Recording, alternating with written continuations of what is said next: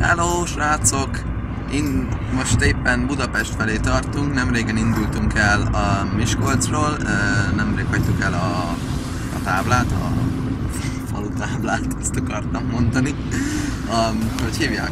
A város táblát, oké. Okay. Hát ez az útjelzéses dolgot. Na, és igen, Miskolc város.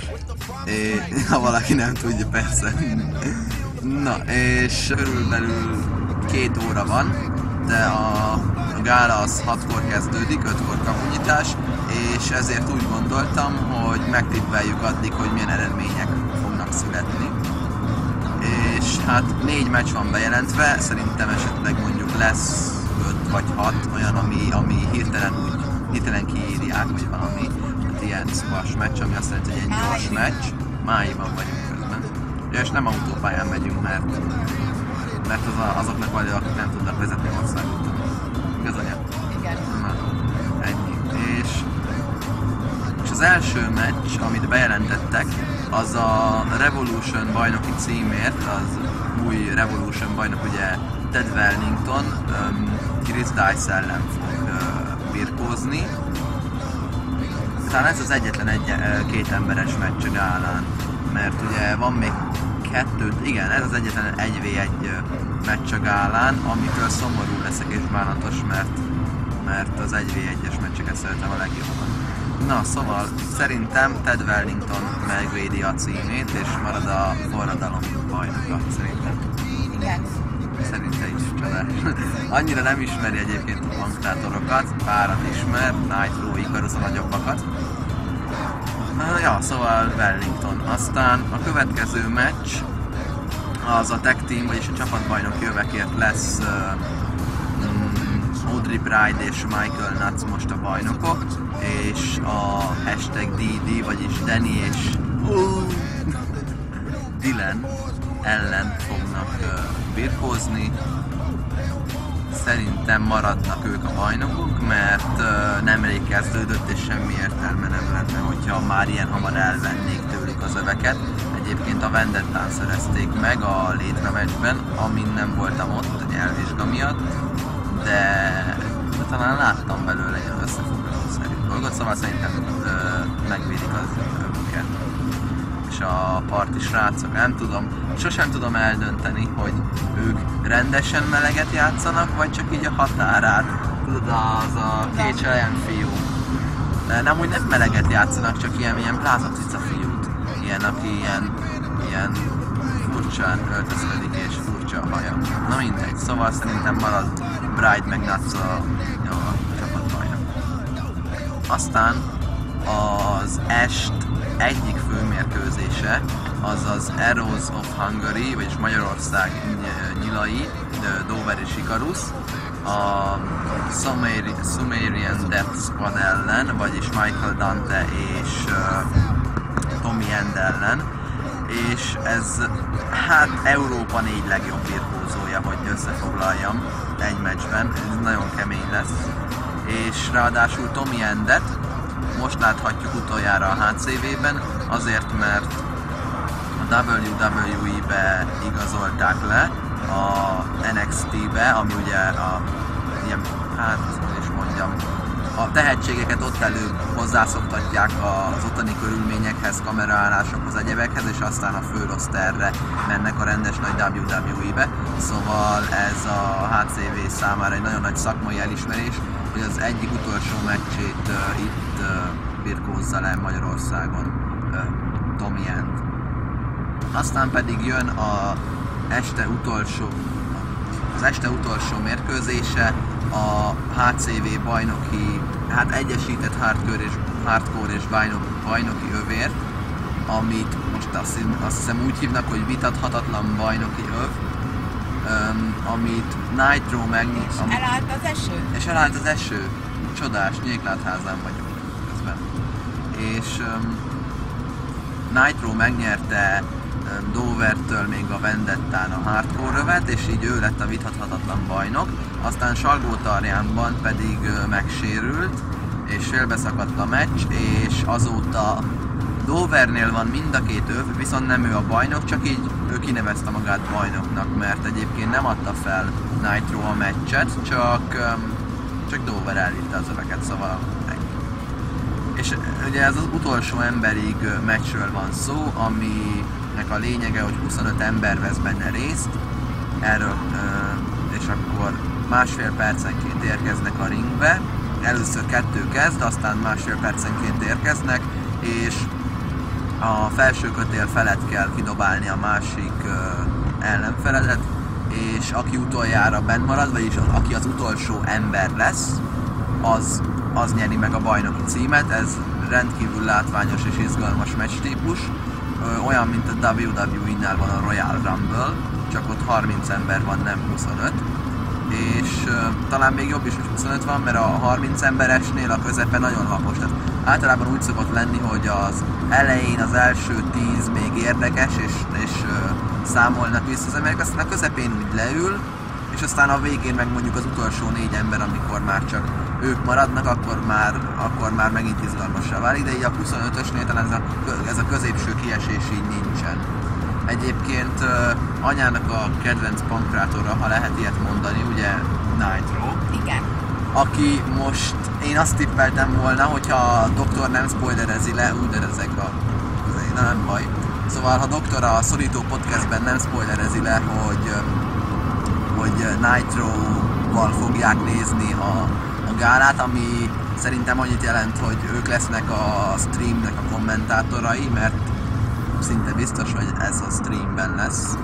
És, és ezzel egybevág az is, hogy doktor nem, nem mint felkonferáló lesz jelen a gálán, hanem valamilyen más, valamilyen más dolga lesz, ami valószínűleg az lesz, hogy kommentátorkodni fog a YouTube stream alatt. És um, Nitro, aki sérült, vele fogja nézni, és ő meg szakmai dolgokat fog mondani. Pedig azt mondtam volna, hogy Nitro fog visszajönni 25-ként, és Gigapopra megnyeri a bajnoki címet, visszanyeri. De ez nem fog megtörténni. Úgyhogy én azt mondom, hogy mondjuk Dover fogja megnyerni a, a meccset, és ezzel ő lesz az új vitatlanatlan bajnok. Anya, mondasz egy nevet? Nitro. Nitro továbbra is visszatér, visszatér, kész. Igen. Jó. Lehet, hát ki tudja, lehet. Van olyan, hogy uh, Be elém jött egy autó. egy autó.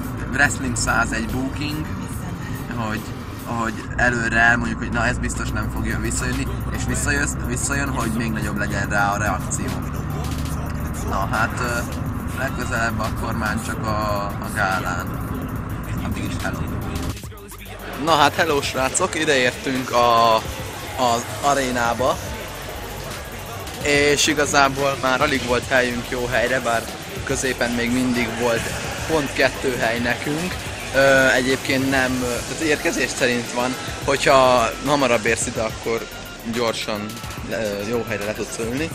És ami egyből ö, szembe tűnt, nem az egy megszokott produkciós asztal mellett most van még egy, ami azért van, mert élőben fog menni Youtube-on ez az adás, és hogyha időtök van, akkor 6 óra felé remélem bekapcsoltátok a Hungarian Championship Wrestlingnek az oldalát, mert ilyet gyakorlatilag csak Amerikában a WWE-ben látni, hogy, hogy élőben közvetítenek egy műsort, és ez forradalmi, és nagyon büszke vagyok rá, hogy ez pont itt van Magyarországon. És hát a közönségben elszórva kamerák, mármint tehát nagyon jó. Úgyhogy, úgyhogy szerintem jelenleg ennyi, de azért uh, mindjárt körbefordítom a kamerát. Jelenleg eléggé tele van a hely.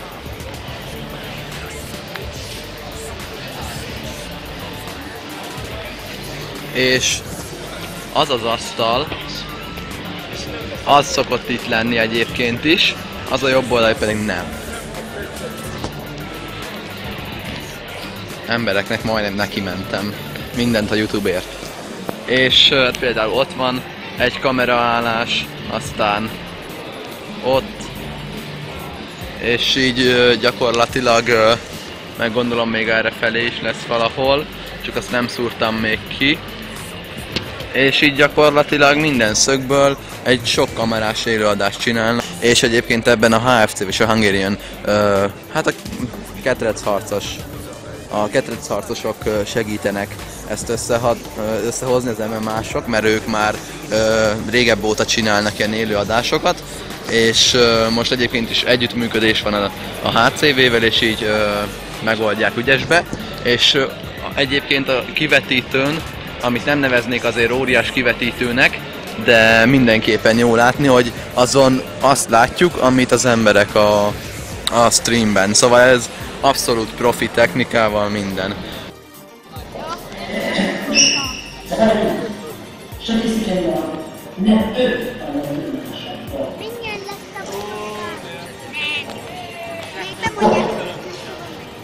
Mindjárt lesz a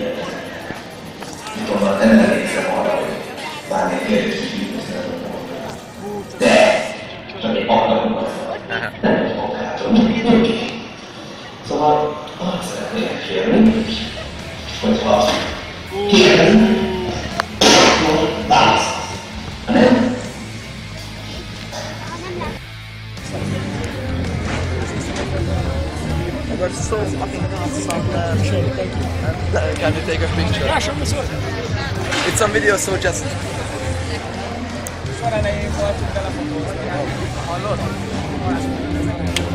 Good luck for the future.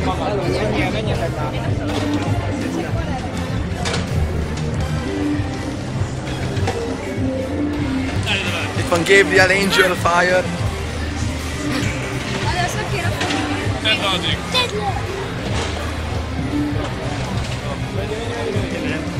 You? Of course. Of course. very good.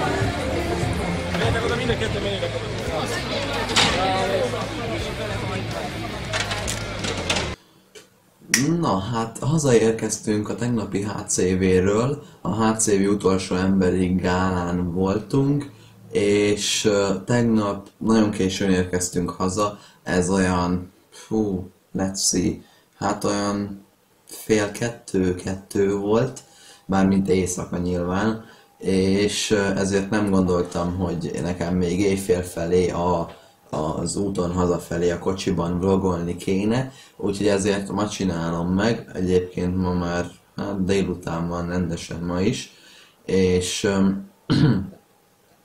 amit így összefoglalásképpen szeretném csak, ugye az első, első amit láthattunk, ugye az, hogy streamen adják, és nagyon profi technikai dolgok voltak, nagyon jól felépítették a sót, és már amikor beléptem, egyből tudtam, hogy ez egy olyan szintű show lesz, legalábbis körítés szempontjából, amit az ember maximum élőben, maximum a a WWE-ben kaphat meg Amerikában, és erre, mint mondtam ott is, amit pár perccel ezelőtt láthattatok, hogy nagyon büszke vagyok rá. És um, um, tehát körülbelül 20 perccel a gála kezdése előtt indult el az első ö, vinyetta, amit ilyen, ami alatt ilyen kis videót értünk, ilyen, ilyen sztoriépítő videót, amit már Facebookon láthattunk, hogy sorszámot húz, ö, hogy hívják, Zafar Amin, aztán Blake Steamer, Ozzy Spencer, akkor a Dylan összeveszik Audrey Bridal, és aztán megcsókolja Otto Bírót, szóval ezek elementek, amik már a Facebookon építettek sztorikat azelőtt, és aztán pedig elindult egy 5 perces visszaszámláló, mint egyébként mindig el szokott indulni egy 5 perces visszaszámláló a, a gála előtt, de ez most annyival volt másabb, hogy akkor indult el az élő adás, akkor kapcsolódhattak be YouTube nézők, és, és a, annyival volt másabb, hogy, hogy az utolsó emberig, hogy mondjam, dizájnja volt rajta, és teljesen illett a koncepcióba, nem, nem úgy, mint nem tudom, éveken keresztül ugyanaz a, ugyanaz a visszajátszás YouTube-os második videó találat volt a kivetítőn, ami nagyon tetszett, és aztán letelt a, a hát előtte volt, vagy utána, nem, utána volt ugye ez a, vigyázzatok egymásra, ne próbált ki otthon, meg maga a HCV opening, ö, opening szenárió, a, hát TV opening volt, hogy ez nem, már nem az mindegy, szóval ez a mm, nyitó, nyitó szekvencia, és aztán pedig, mint megint csak azt tudom mondani, hogy WWE-ben, hát jó, mondjuk nagyon más nem nézek, max még hát New japan vagy, vagy néha Ring of Honor-t, de többnyire a WWE-ből ismerhetünk olyat, hogy a gála legelején még nem az van, hogy bekapcsolunk az arénába, hanem az, hogy, hogy megint egy vinyetta jött, de az egyáltalán nem láthatta még addig senki, és az pedig arról szólt, hogy elmondta, hogy milyen meccsek lesznek, miért, miért különleges ez az este, és annyira meghozta rá a hangulatot, hogy teljesen, teljesen kész voltam. Tényleg, le a kalappal, akkor ez a sárgás utas, nem tudom, utolsó emberiges kihangsúlyozás, ez nagyon jól jött az elején, és akkor megszólalt, megszólalt László Roland zenéje, aki ugye a, elmondta, hogy ugye ő most ért vissza, ekkor még öltönyben, és elmondta, hogy a magyar pankráció mindig is a szíve csücske volt, a HCV nagyon régóta itt volt, és hogy, és hogy birkózott, meg, meg menedzserkedett, meg mindent, amit csinált, és aztán mondta, hogy aztán háttérmunkás volt, és akkor most egy fontos, fontos döntésre jutott, és bejelentette, hogy elhagyja a HCV-t. És hát erre nagyon nagy hit jött, ami a fújolást és a ilyen jelenti, "Úúúú."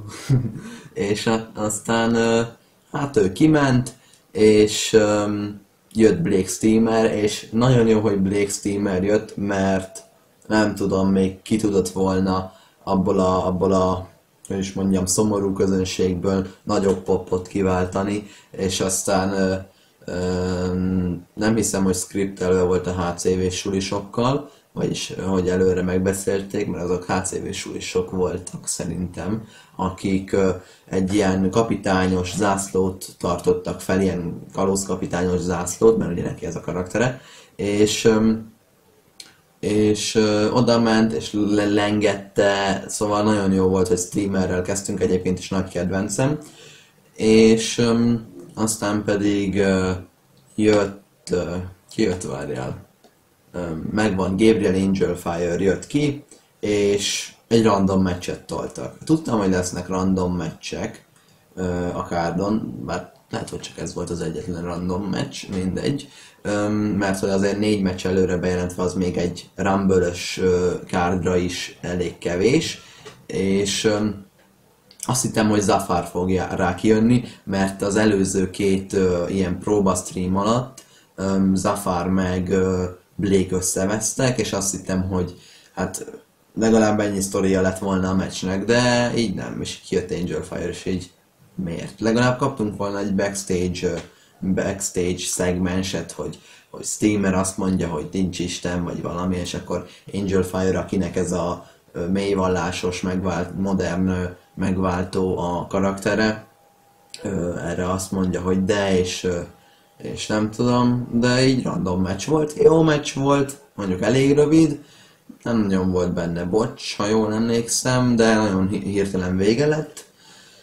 És ö, nyert ö, Steamer, és aztán ö, mm, face-off volt, de aztán meg megölelke- összeölelkeztek, és akkor mindenki happy volt. A bírót is ünnepelték, amit nem tudom, hogy a adás elején miért kell, de nem tudom, nem volt rossz. Na, aztán jött, ha jól emlékszem, az RP Tysonos szegmens, amikor konferálta volna fel az új felkonf, mert ugye doktor most, aki eddig volt, ő most a kommentátor volt a Nitro, és nem tudom ki volt a másik. Sajnos nem ismertem fel, de lehet a HFC-nek volt az igazgatója? Mert a múltkor ő volt Renegade mellett. Mindegy, hogyha a hülyeséget mondok, akkor bocsi. És szóval nem doktor volt a ring announcer, ring speaker, hanem ez az új csávó, aki egyébként jó lett volna, csak minden nevet elrontott, ezért én kezdtem is kiabálni, hogy you fucked up, de aztán így nem jött rá erősödés, úgyhogy abba hagytam. Szóval ő mondta, hogy jönnek a Arrows of Hungary, vagy, vagy úgy mondta, hogy Magyarország nyilai, mindegy, és, és így nem, mert jött R.P. Tyson, és akkor ő elmondta, hogy Renegade-del elbeszélgetett, és hogy, és hogy ugye most már férfinak kell lennie, és aztán ilyen 5-6 percig beszélt arról, hogy hogy meg fog változni. Aztán pedig kijött rá mm, Marcus Mitra és uh, Jorgos Kolonis, ugye a spártai légió, ami megint csak elég random volt, ha jól értettem, de lehet, hogy már kifelejtettem, de ez is elég ilyen random-szerű volt. Mindegy, kijöttek rá, aztán amikor épp már megütötték volna, kijött Reddix, aki mind a háromnál két fejjel alacsonyabb és sokkal véknyabb, és, és ő próbálta volna védeni R.P. Tyson, mert ugye még régebben ő volt a testőre, és nem tudom, hogy Reddix került-e kontaktba, de szerintem igen, és aztán fogták, és R.P. Tyson-t beledobta az egyébként is brutálisan nagy spearbe, ú, az nagyon keményen nézett ki. Na hát aztán, aztán ugye így kimentek, és aztán ennyi.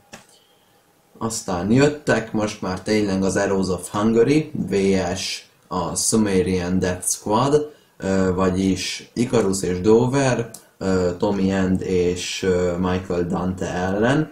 Michael Dante-ról azt hittem, hogy kisebb, mint Tommy End, de nem tudom miért hittem ezt. Majdnem akkor vagy mint Big Damo a, a áttörés volt a háttörésen. Na, és akkor...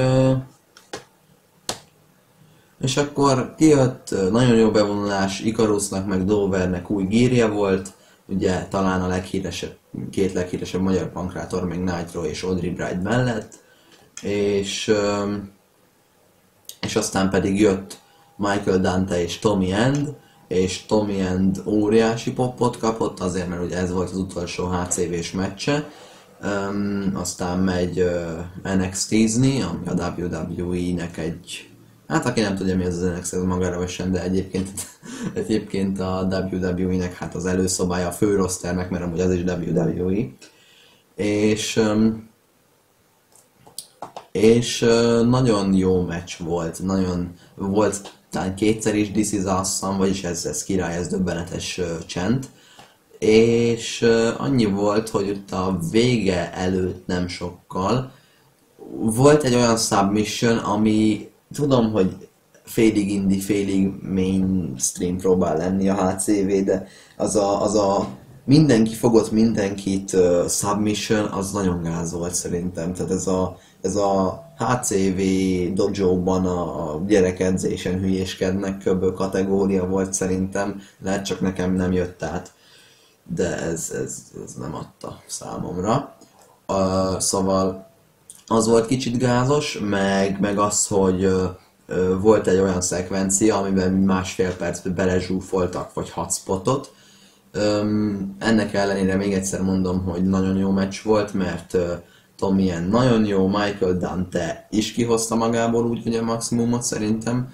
Uh, Icarus, meg Dover, meg uh, hát hát nem ők voltak most gondolom a ring generálok, vagyis aki vezeti a meccset, de, de ők is nagyon vezették magukat, és um, még annyit, hogy volt benne egy olyan rész, egy olyan spot, amikor uh, Dover betette uh, Michael Dante-t a Boston Crabbe, half, half leg Boston Crab, amikor az egyik lábát így hátra szorítja, mert ugye újabban neki ez a finishere, mm, mióta Nitro-nak ezzel eltörte a térdét, és um, aztán fogja Tommy End, az beteszi Icarus ugyanebbe a fogásba, és akkor a kettő fogásban lévő szenved, és aki meg kettő tartja, az meg így néznek egymásra fél centiről, és aztán meg elkezdenek pofoszkodni. Az nagyon kemény volt, az nagyon kemény. Az olyan face-off volt körülbelül, mint amikor a WrestleMania 31-en izé Bray Wyatt meg, uh, Undertaker meccselt, és Undertaker felült, izé Bray Wyatt meg éppen a, a finisherjére készült, fú, nem tudom, hogy hívják azt. Híd? Ja, azt hiszem azt hídnak hívják magyarul simán, amikor így ki van nyújtva a két keze, a két lába is. És akkor úgy van fejjel lefelé.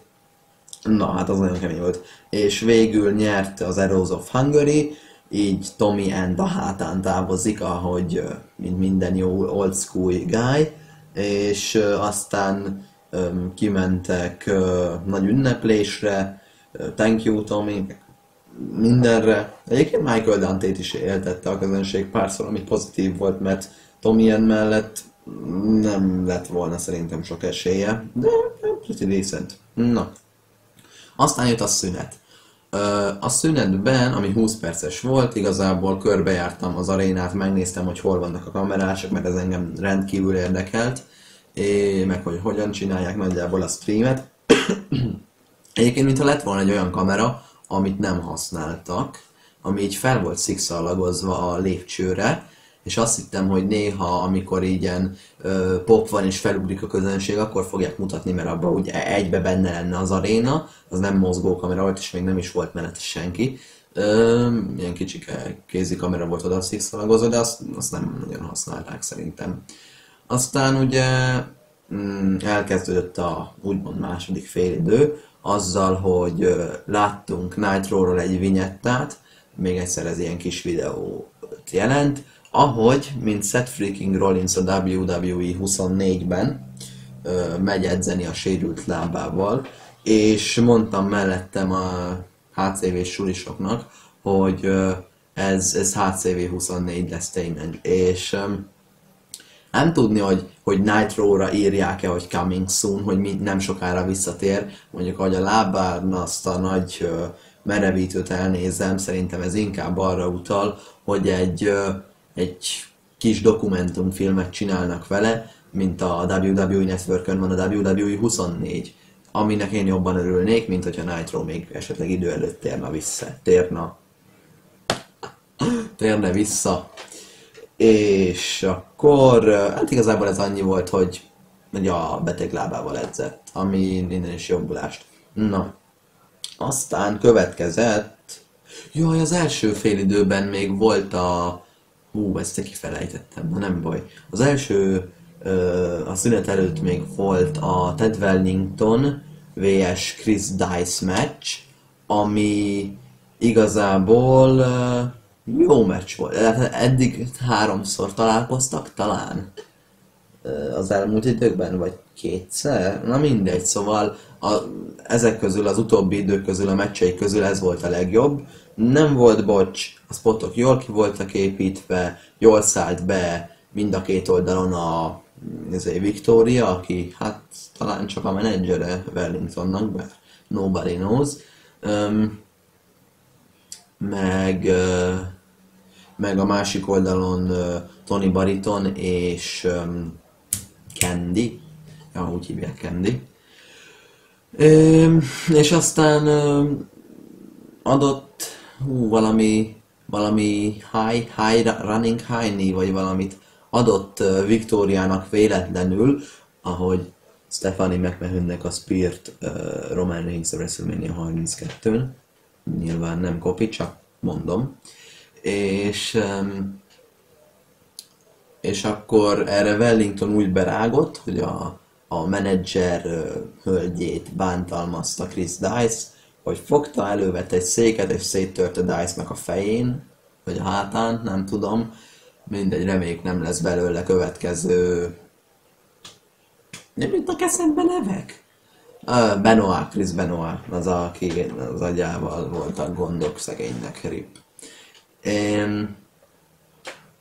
Szóval hátba ütötte, és ezzel a meccset megnyerte Chris Dice, de mint mindig, így az öv maradt annál, aki, aki eddig volt, mert ugye azt vagy két vára fektetéssel, vagy pedig feladásra kényszerítéssel lehet ö, megszerezni. Ezért ugye a, a cím maradt Wellingtonnál, de a meccset azt megnyerte Chris Dice, és ez nekem nagyon nem definitív finish volt, sőt az ellenkezője. Ez nálam úgy tűnt, hogy ebből még a véres novemberben esetleg egy erős mm, típus meccs lesz, mondjuk egy, mondjuk egy sima hardcore meccs, bár az valamit még hozzátenni, mondjuk egy simán székmeccs körbe lenne pakolva székkel a ring. Na, ez zárójelbe zárva. Aztán pedig a második félidőben a Nitro-s vinyetta után jött, jött a csapatbajnoki mérkőzés, ami egy darabig így bírtam, hogy egy-két bocs van benne, de aztán minden hitemet elvesztettem abban a meccsben, mert Dylan jó előadó és jó in-ring. Danny mondjuk úgy, hogy még nem forrott ki, de van benne potenciál. Aztán Audrey Bride, Európa legkeresettebb női pankrátora. Aztán Michael Natsa, technikai birkózás királya.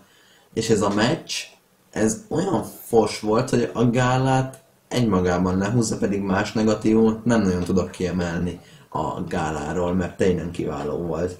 De ez a gála, vagy ez a meccs, ez egyszerűen ilyen bocsamánia volt, egy tényleg így számoltuk mellettem a srácokkal, a HCV-s iskolásokkal, hogy, hogy hány, hány mozdulatot csinálnak meg jól. Például volt egy curb stump, ami Seth Rollinsnak is a finishere volt, és most Dylannek a HCV-ben, hogyha nem mondják, hogy az egy curb stump akart lenni, akkor én azt hiszem, hogy az egy kincása hátulról, vagy, vagy valami reverse uh, running vagy valami ilyesmi. Mert olyan, tehát Dylannek valaki szólhatna, hogy a curb stumphoz nem előre, hanem felfelé kell ugrani.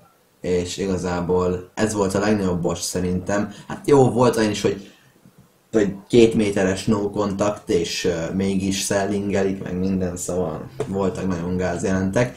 Annyi jó volt, hogy a Young Bucks-os uh, dupla superkicket uh, beadtak uh, Natsnak, vagy Audrinak, fú, nem tudom. Az jól nézett ki, az jól is volt minden, az ott, de egyébként maga a meccs az full bocsamánia volt.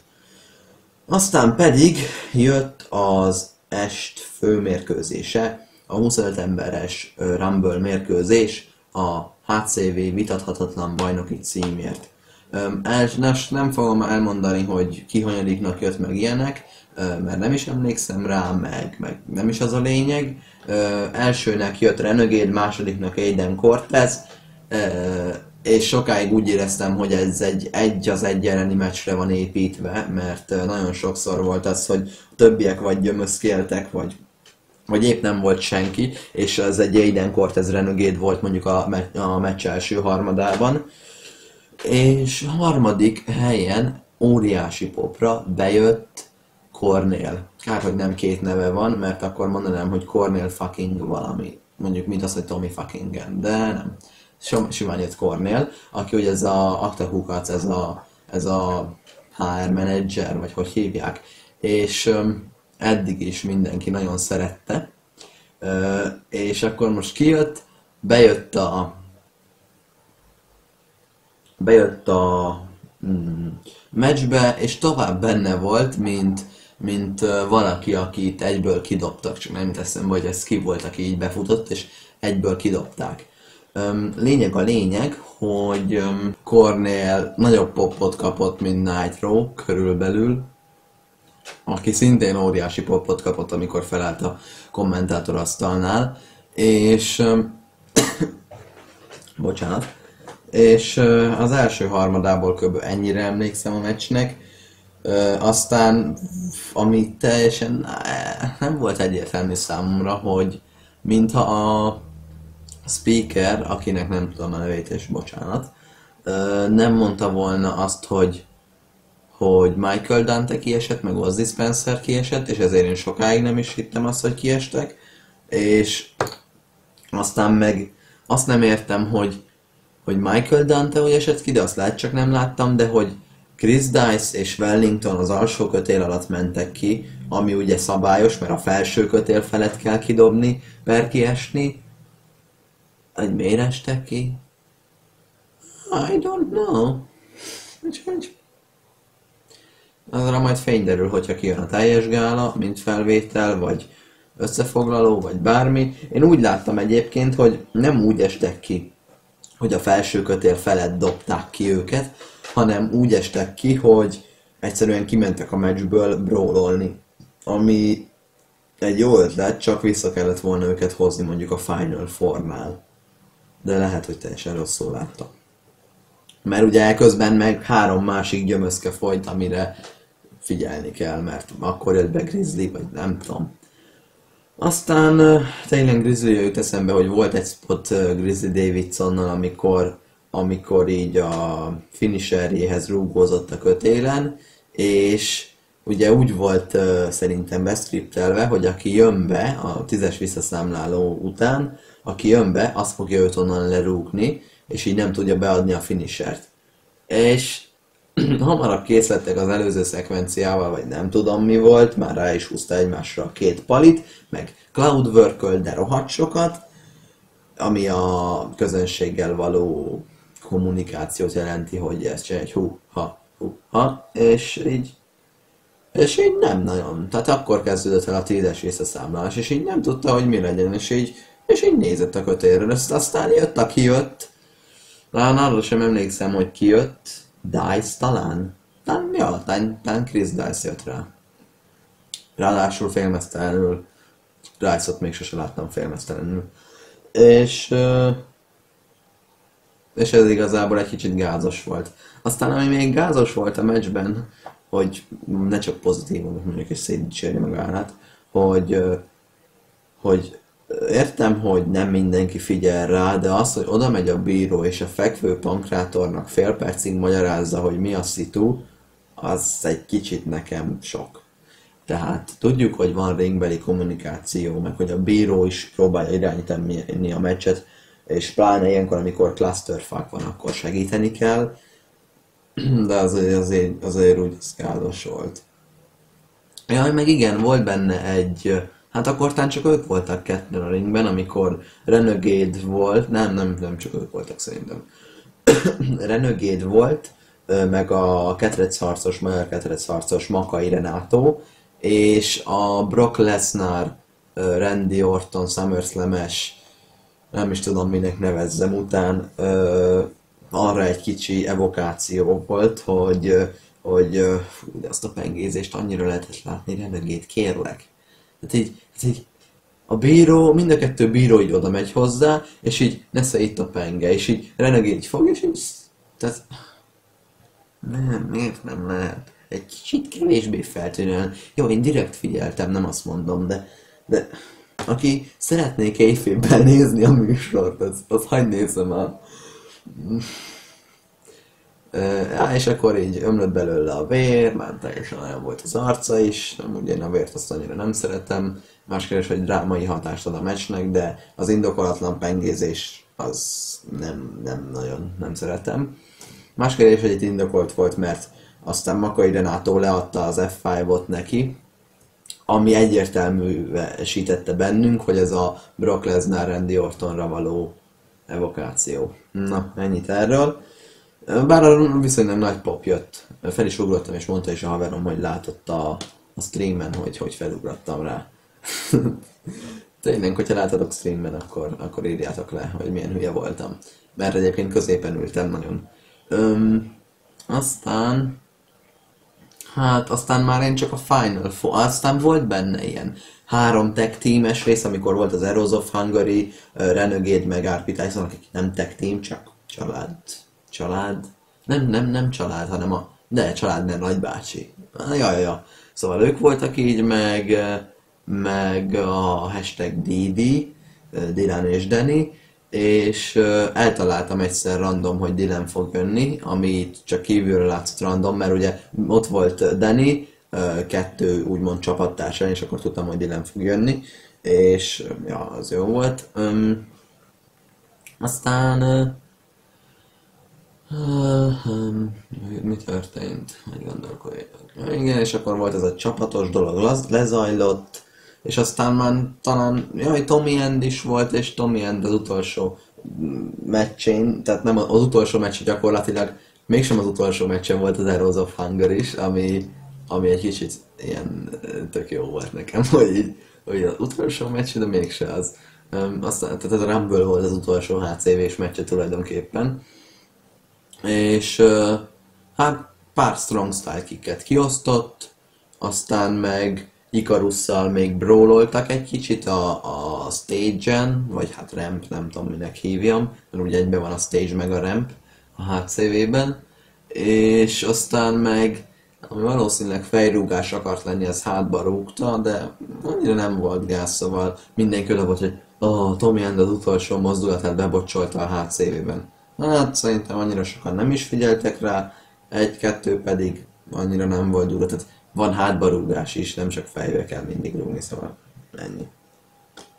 Aztán a Final Four az úgy volt, hogy Dover, Koppány, Michael Nuts és Zafar Amin, én és Koppány jött 25-nek, akiről senkinek árva büdös fogalma nem volt, hogy ki Koppány valójában.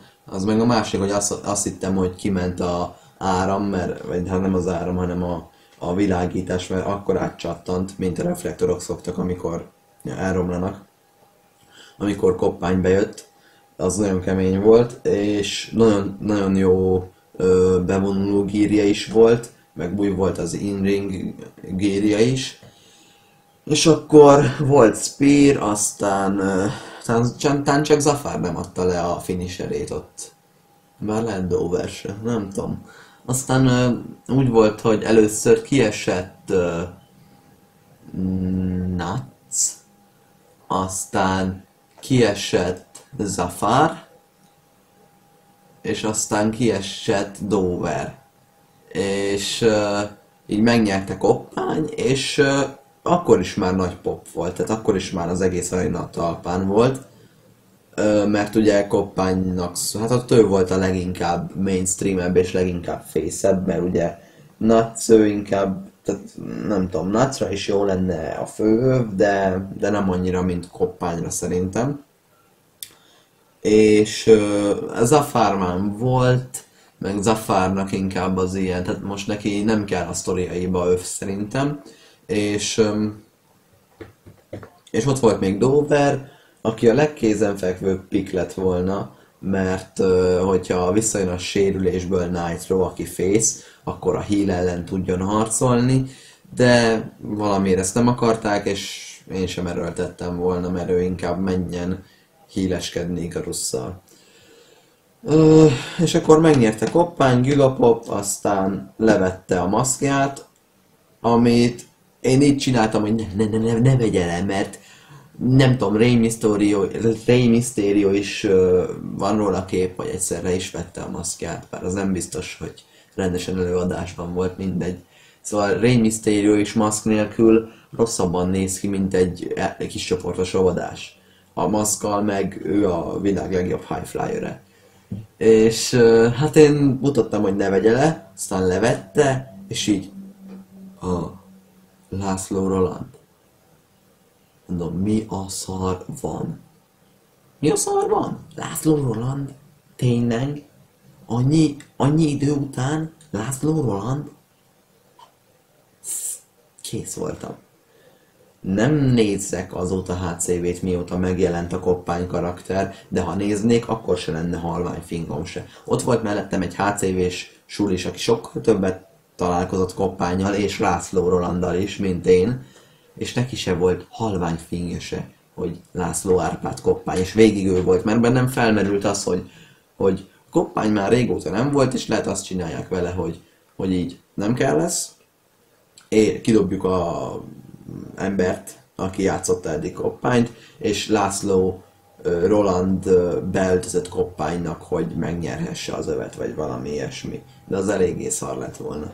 És így ez nagyon jó lett, mert ugye mit mondott László Roland a Gána legelején? Azt, hogy elhagyja a HCV-t. Na, a gimmickje, ez az öltönyös, üzletemberes, járom a világot ö, László Roland, ez tényleg elhagyta a HCV-t. Azt ugyan nem tudom, hogy koppányként fogjuk-e kezelni a közeljövőben, vagy, vagy László Rolandként, de nekem van egy javaslatom, Finn Baloros javaslatom. Ugye Finn Balor ő az, aki ilyen félig meddig loser srácot alakít, és nagyon alacsony is egyébként, igaz? Nem, tényleg semmi baj. És, és a sima meccseire, sima adásokra úgy jön ki, hogy ő, Finn Balor, vagy hát Prince David, csak, csak már nem Prince David, mert Finn Balor, és, és akkor nincs rajta se festés, meg semmi, ő egy simán egy hétköznapi embernek néz ki. Aztán, amikor fontos meccse van, fontos gálája, akkor a nyomás és a, és a helyzet, a szituáció kihozza belőle a démont, a, és nagyon keményen néz ki, és úgy vonul be, hogy, hogy mindenki úgy nézi, mint az Undertaker-t, és, és igazából neki ez a gimmickje, hogy a gálákon ő a démon körülbelül. És én azt gondolnám, hogy László Roland lehetne a sima, hát így úgymond hétköznapi gálákon László Roland, és mondjuk, ha valami óriási meccse van, vagy title defense, vagy valami ilyesmi, akkor pedig lehetne ő koppány. Nem tudom, hogy ez mennyire jó ötlet. Na, hát ennyi lett volna. Köszönöm, hogy megnézted ezt a videót, igazán nagyra értékelem, hogy nem tudom hány percet beszéltem, de az egész videó körülbelül 40 perc, 40 perc, szerintem 50 perces is lesz.